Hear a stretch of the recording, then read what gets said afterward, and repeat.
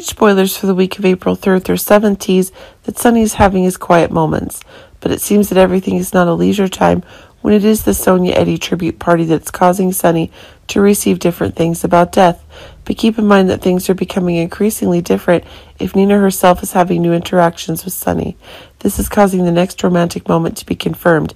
But keep in mind that things are still different if the hatred is still burning in Sonny's person, and that's making the revenge plans more and more clear than ever. But it should be remembered that things are taking on new differentiating conditions if it is precisely Nina who's giving a hint of possible further progress in the two's own love story.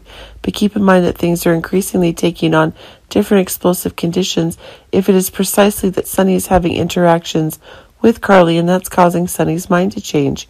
It's possible that this week we're seeing Sonny make shocking decision about the terms of his future and that's leaving Nina who's going to have to suffer more than ever time out. Sonny is finding that the time it takes for him to launch an attack is getting shorter than ever. This is causing one of the new conditions to take place. But it seems that precisely when one of the new madnesses is being confirmed, if Victor himself can no longer tolerate these dangers, it's causing one of the new ideas to be brought back to the fore.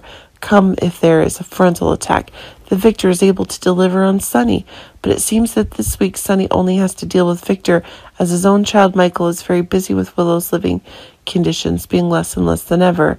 It's possible that Michael herself will this week have a precise question about the deceptions Michael is up to.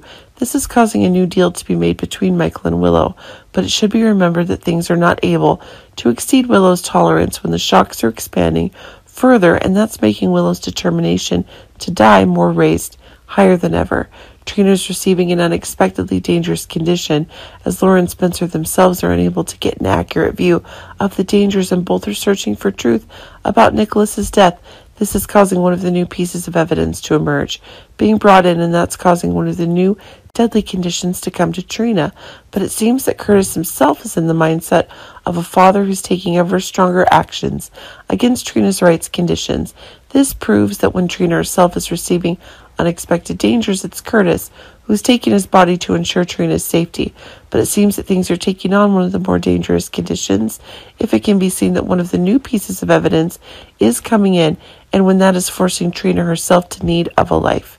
Investigate the identity and determine that it is Curtis who is her father in order to save Curtis more quickly than ever.